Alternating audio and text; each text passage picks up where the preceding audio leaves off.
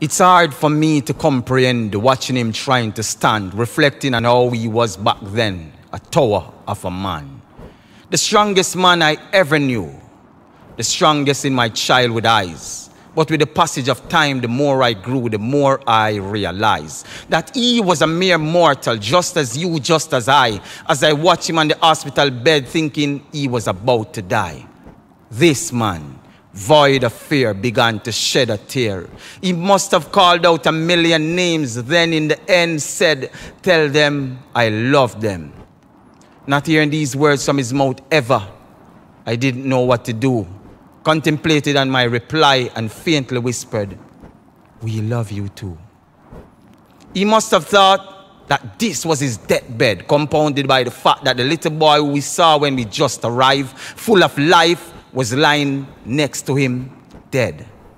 As fate would have it, he recovered from that ordeal. Looking back at his plight, his fight for life, it almost seems surreal. He was shot six times and still he thrived, survived death's door to be strong once more. Now here he is, another test. This strong man not looking his best, wrinkled, hair gray, struggling to stand.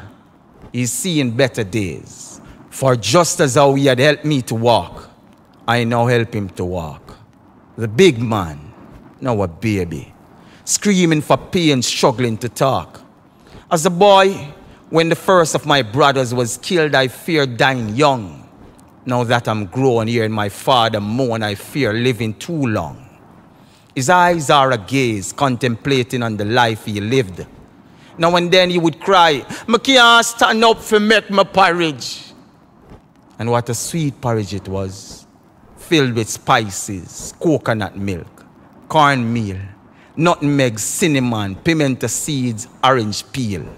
Brought me back to boy with memories. He's been in and out of hospital, wish I had the remedy. So as this strong man continued to fight, I close by saying, be strong, Albert Wright.